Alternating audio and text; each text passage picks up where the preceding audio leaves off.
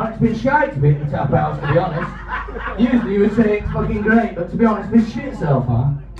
So uh, hopefully that will improve as the goes on. This was number by Whitesnake as we go, Fool for your loving.